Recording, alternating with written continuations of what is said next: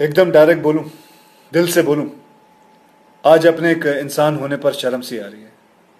एक प्यारी सी, छोटी सी छुट्टी बिताए अपने फैमिली के साथ केप टाउन से लौटा। बहुत मन से आप सभी को नए साल की मुबारकबाद दी। अपनी बेटी को गोद में उठाए, एयरपोर्ट से निकल ही रहा था कि टीवी पर कुछ न्यूज़ आ रही थी, वहाँ नज़र पड़ी। बैंगलोर में नए साल के जश्न में कुछ लोगों का वैशियत सा नाच देखा। खुलेआम सड़क पर है? उसे देखकर पता नहीं आप लोगों को कैसा लगा बाई गॉड, लेकिन मेरा खून खोल उठा एक बेटी का बाप हूँ, और ना भी होता तो शायद यही कहता कि जो समाज अपनी औरतों को इज़्ज़त नहीं दे सकता, उसे अपने आप को इंसानी समाज कहने का कोई हक नहीं है। और सबसे ज़्यादा शर्म की बात पता क्या है? कुछ लोग राह चलते किसी लड़की की हैरेसमेंट को भी जस्टिफाई करने की औकात रखते हैं साले। लड़की ने छोटे कपड़े पहने क्यों? लड़की रात में घर से बाहर गई क्यों? अरे शर्म करो यार।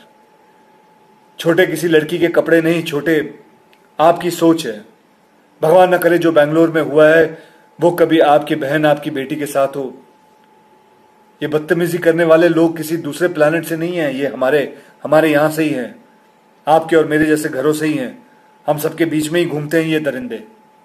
अभी भी वक्त है, सुधर जाओ।